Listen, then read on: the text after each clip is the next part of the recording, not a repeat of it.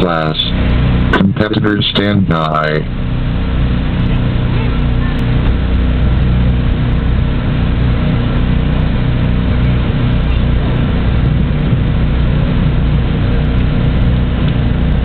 Some of you may already know this, but for the ones who don't know it, Nick Watts is actually the current wo- world record holder for this class.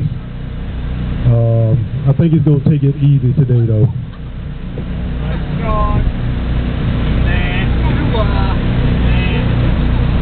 Nick, you ready? When?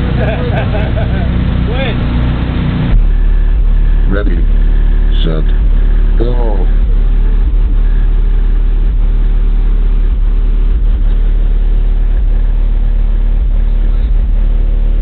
Twenty seconds